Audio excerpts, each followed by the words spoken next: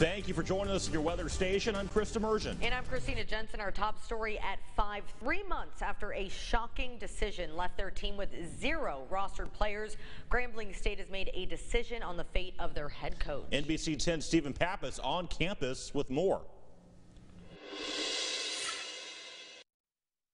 Grambling State Athletics announcing on Tuesday that they have fired head volleyball coach Chelsea Lucas after a short and tumultuous time with the university. You got to remember all the way back in April, Lucas cut the entire 19 player roster that suited up for the 2021 team, leaving the outgoing players four months to find a new program. Fast forward now three months, and Lucas is also out of a job following an internal investigation done by the school with no further details coming out at this time. The school announced as well on Tuesday that a national coaching search is underway. Grambling Athletic Director Rick Scott announcing that all volleyball student athletes that receive scholarships for the 2022-23 season will keep scholarships this year and remain on the team with walk-ons continuing to hold their roster spot.